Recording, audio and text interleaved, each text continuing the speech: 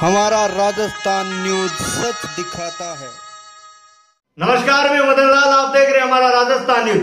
आलावास पाली मदन राजस्थानी के गुरुकुल आश्रम में आज स्थानीय प्रशासन एवं बाल कल्याण समिति सामाजिक न्याय और अधिकारिता विभाग की टीमों ने किया आश्रम की जाँच पड़ताल। आइए देखते हैं ये रिपोर्ट।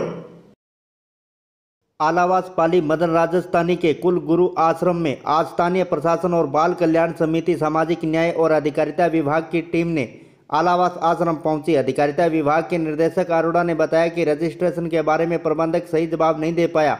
जाँच में सामने आया कि रजिस्ट्रेशन का नवीकरण नहीं हो पाया वहीं टीमों ने बालिकाओं से बात की तो वहाँ पर 236 बालिकाएँ मिली।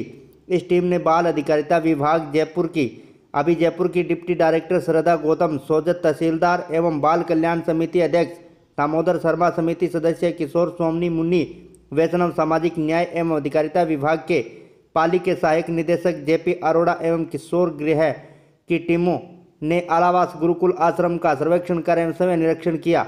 इस आश्रम में 800 बालिकाओं के रहने के दावे आश्रम कर रहा था, परंतु जाँच में मात्र 236 बालिकाएँ वहाँ पाई गई।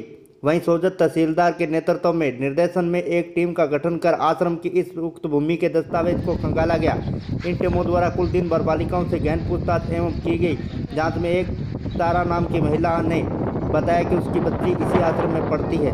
इसी आश्रम में रहती है। बीते चार साल से उसको उसकी बच्ची नहीं मिलने से दिया गया।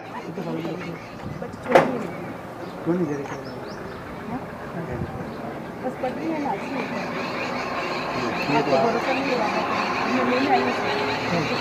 वहाँ स्कूल नहीं अहमदाबाद में सास के पास अच्छा सास के पास में सास कहाँ रहती है? एडमिशन कराए सास तो अच्छा है तो चलो अच्छा ही है। सास की उम्र बीत गई कुछ पता नहीं सास कहाँ रहती है? पानी से है? तो दे दिया बच्ची को? अब इनको पता ही नहीं ना।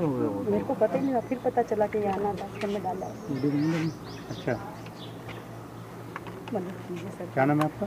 मेरा नाम तारा तारा अहमदाबाद से। कितने साल की बच्ची होगी ग्यारह साल की ग्यारह बारह की हो गई होगी। अच्छा और किस क्लास में है? पाँचवीं में आई है। पाँचवीं में आई कितने साल से है यहाँ पर? फ़ोटो मत ली